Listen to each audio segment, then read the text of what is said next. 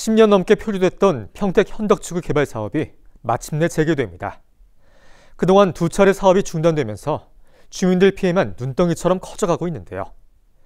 경기도가 안정적으로 사업을 진행하기 위해 공공이 주도하는 공영개발 방식을 추진하기로 했습니다.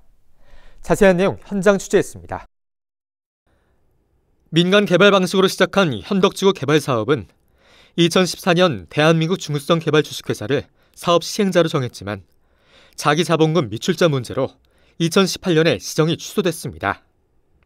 이어 2020년 대구은행 컨소시엄을 우선 협상 대상자로 선정해 경기주택도시공사와 평택도시공사가 참여하는 민관 합동 개발 방식을 추진했습니다.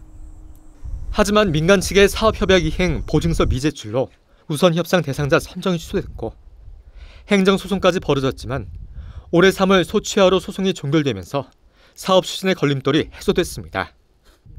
문제는 두 차례의 민간 참여 방식이 실패하면서 주민들은 16년 동안이나 신축이나 증축을 하지 못한 채 낡아 빠진 건물에서 고통을 겪어오고 있다는 겁니다. 수용이 되면 다 없어질 거니까 돈 들이면 돈을 왜 드리냐는 식으로 한 번도 안 도와주니까 10년 동안 받는 고통도는 말도 못해. 비 오면 지금 비 오면 피세요 우리 집에도 피 새는 집에서 사는 거예요. 경기도는 그동안의 전철을 밟지 않고 부동산 경기 침체 속 안정적인 개발을 위해 공영개발 카드를 꺼내들었습니다. 경기주택도시공사와 평택도시공사를 공동사업 시행자로 하는 공영개발 방식을 추진하기로 한 겁니다.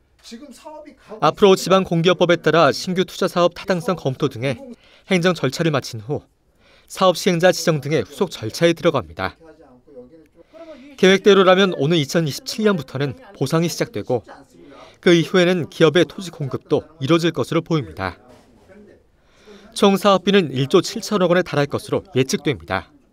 안정적으로 추진하고 또 공공개발 목적에 맞게 지역 경제 활성화 차원에서 이제 아파트 개발 계획에서 어, 기업 유치를 위한 일자리 용지로 개발 계획을 변경하게 됐습니다. 개발 컨셉을. 경기도는 현덕지구를 평택항과 수소 복합기지 등과 연계해 신재생에너지와 미래자동차, 반도체, 스마트 물류 등 첨단 산업단지로 조성할 계획. 현덕지구 주변에 안중역이 신설된 데 이어 오는 12월에는 서부 내륙 고속도로와 내년 3월에는 평택호 횡단도로 등 교통기반 시설이 확충되면서 사업 추진이 한층 탄력을 받을 전망입니다.